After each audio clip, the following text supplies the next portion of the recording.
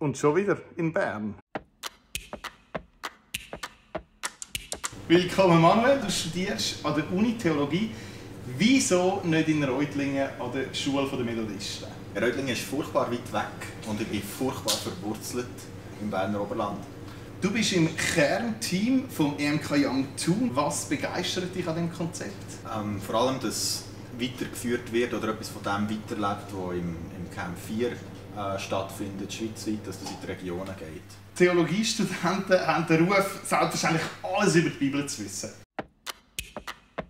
In Markus 10 steht, er kommt ein Elefant durch ein Nadelöhr als ein Reicher in Gottes neue Welt. Richtig oder falsch? Falsch!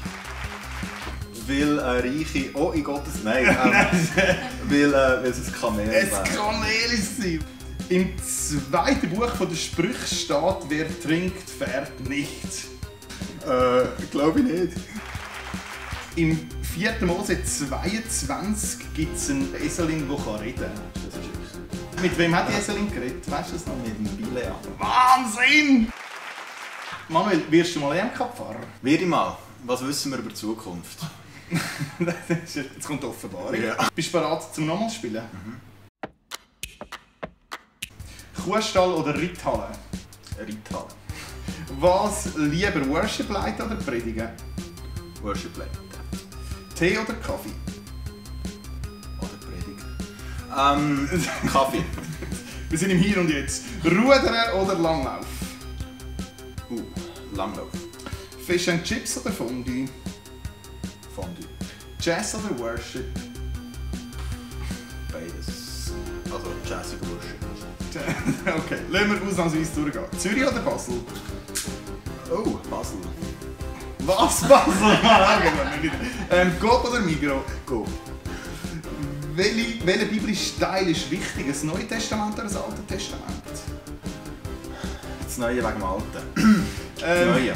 Du schnurst dich so oft raus. Entschuldigung. Ähm, Bier oder Wein? Bier. Auto oder Velo? Velo. England oder Schweiz? Ist gelöst. Was macht für dich die Methodistenkirche aus?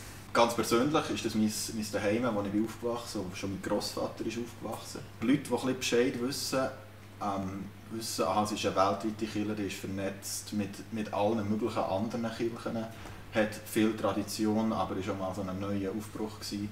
Ähm, grosse theologische Breite und so. Ähm, einfach so, ich glaube, die Vielfalt und der Reichtum, wo, wo da ist, wo man nicht immer ähm, sich bewusst ist, aber wo eigentlich sehr groß ist. Und ich danke dir ganz herzlich, dass du mein Gast bist, bei Methodisten getroffen. Ich bin gespannt, wer wir das nächste Mal treffen. Bleibt stabil, macht's gut. Ciao zusammen.